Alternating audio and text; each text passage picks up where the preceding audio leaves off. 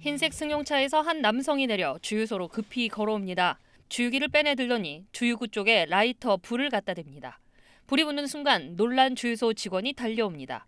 주유를 하고 있진 않아서 큰 불로 번지진 않았지만 대형 사고로 이어질 뻔했습니다.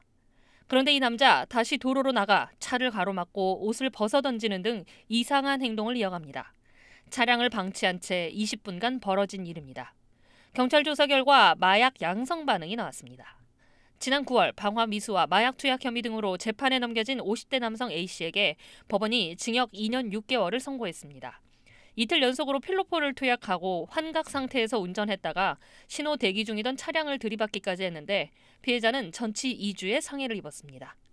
A 씨는 2016년과 2018년에도 마약 범죄로 두 차례에 걸쳐 실형을 선고받은 전력이 있었습니다.